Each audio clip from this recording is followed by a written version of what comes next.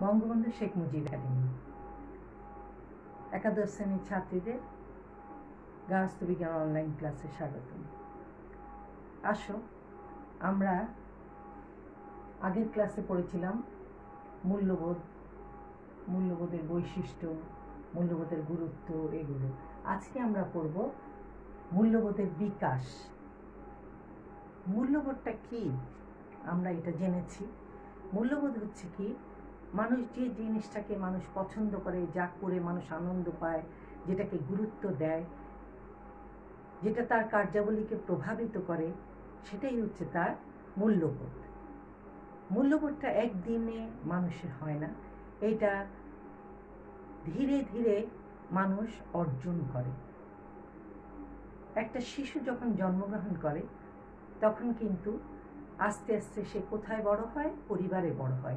সেই পরিবারে, সে পরিবারের লোকজন থেকে, পরিবারের সদস্যদের থেকে সে অনেক কিছু শেখে।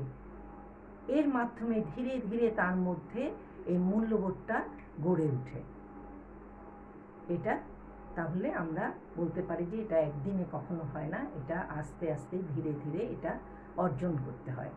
এই মূল্যবোধ এর বিকাশটা কীভাবে হয়? এর বিকাশটা হয় পরিবার থেকেও হয়, আবার পারিপার্শ্বিক পরিবেশ থেকেও হয়। দেখো, মূল্যবোধ বিকাশে পরিবারের ভূমিকা সম্বন্ধে স্কেলেটার বলেছেন, উনি গবেষণায় দেখেছেন যে অল্প সংখ্যক মূল্যবোধ পরিবারের সকলের মধ্যে সাধারণভাবে বিরাজমান।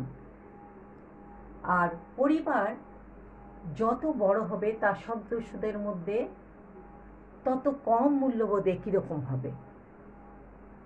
কারণ পরিবার বড় হলে অনেক লোকের সমাগম হয়, তখন কিন্তু সবার মূল্যবোধ একরকম থাকে না। এক একজনের মূল্যবোধ এক এক রকম হয়। শুধু পিতামাতা ও একটা সন্তানের পরিবারে মূল্যবোধ বেশিরভাগ ক্ষেত্রে একই রকম হয়। রোজেন তার অভিজ্ঞতায় মা হতে ছেলের মধ্যে মূল্যবোধের প্রভাব বেশি ঘটে এবং মধ্যবিত্ত পরিবারে এবং ছোট পরিবারে উনি দেখেছেন রোজেন দেখেছেন।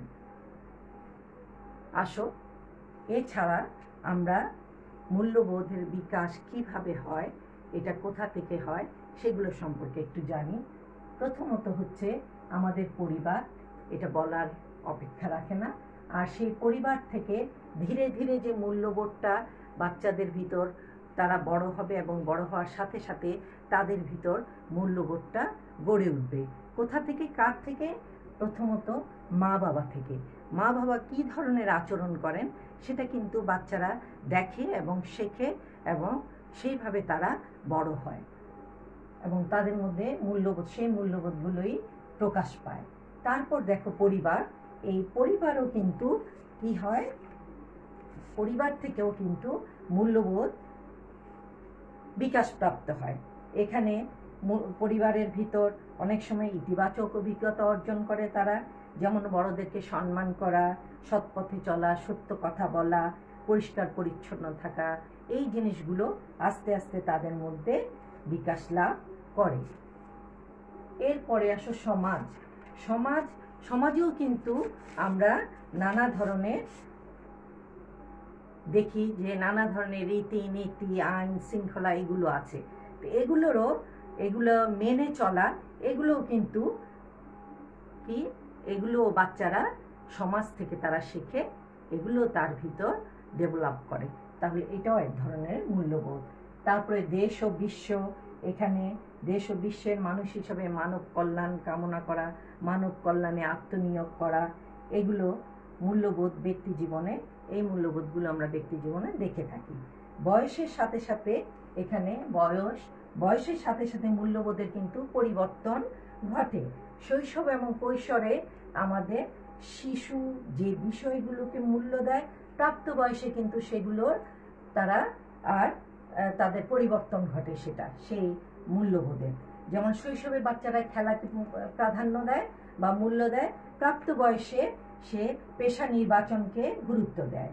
ধর্ম ও পরিবেশ, এখানে ধর্মীয় অনুশাসন, বিদ্যালয় শিক্ষক, খেলার মাঠ বন্ধু বান্ধব এদের শিশুর মূল্যবোধ, এদের মাধ্যমেও কিন্তু বিকাশ প্রাপ্ত হয়। আবার পরিবেশের পরিবর্তন হলে তখন আবার তারা নতুন অভিজ্ঞতা, অভিজ্ঞতায় তাদের মূল্যবোধের আবার বিকাশ ঘটায়। তারপর দেখো, এখানে গতিশীলতা গতিশীলতা কি? বয়সের স্তরভেদে মূল্যবোধের বিকাশ অবিরাম ধারায় চলতে থাকে। শিশুকালে পরিবার থেকে শিশুর মধ্যে যে মূল্যবোধ গঠিত হয়, বড় হওয়ার সাথে সাথে সেটার প্রসার ঘটে। যেমন ভদ্রতা, নম্রতা, ভালোবাসা এগুলো তারপরে অভিজ্ঞতা, দৈনন্দিন জীবনে অভিজ্ঞতা থেকে কিছু মূল্যবোধ গড়ে ওঠে।